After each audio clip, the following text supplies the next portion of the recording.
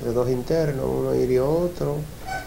El herido responde al nombre de Rey Félix Reynoso Ramos y Gerson López Peña, que es el agresor, y se le va a conocer medida de coerción por excepción.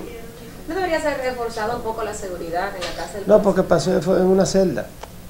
Fue en una celda, o sea, es- ahí no hay forma, tú no puedes tener un agente de seguridad dentro de una celda. Eh, control de seguridad de las de requisas de armas y eso, como Es que hay diferentes instrumentos que pueden ser usados por una persona. Pero te reitero, lo más importante se lo va a conocer coerción por ese hecho en el día de hoy.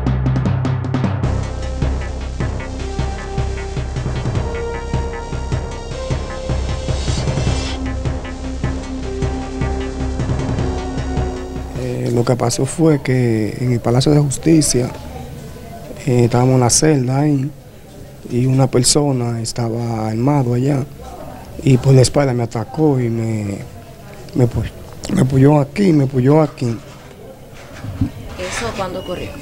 ayer, En el Palacio de Justicia, abajo, en una celda. en la carcelita. Ajá. Eh, ¿Te diste cuenta más o menos quién fue? Eh, ¿Había discutido con alguien? Eh, hubo un- una discusión y él salió de repente y me,